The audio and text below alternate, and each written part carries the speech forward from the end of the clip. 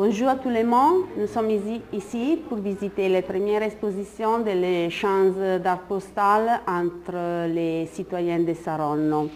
Qu'est-ce que c'est la mail art? C'est un mouvement artistique né en 1962 d'une idée de Ray Johnson, à son tour influencé par l'avant-garde des débuts des années 900.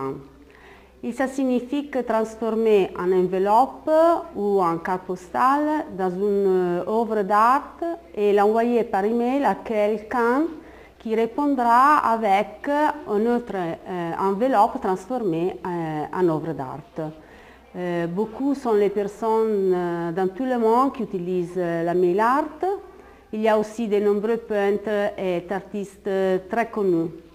Euh, chez nous, cette première exposition a eu un succès euh, fantastique. Nous avons eu 80 participants et beaucoup de visitateurs. 260 mail art dans lesquels nous avons eu l'honneur d'avoir aussi œuvres de peintres célèbres de notre région. Liliana Patti, Ferdinando Greco, Marocco Franco, qui est directeur de l'Académie des Beaux-Arts de Brera, eh, Giuseppe Dominioni, Girola Gar Gabriella Savoia, eh, Tallarini Norberto, Fontana Arnaldo.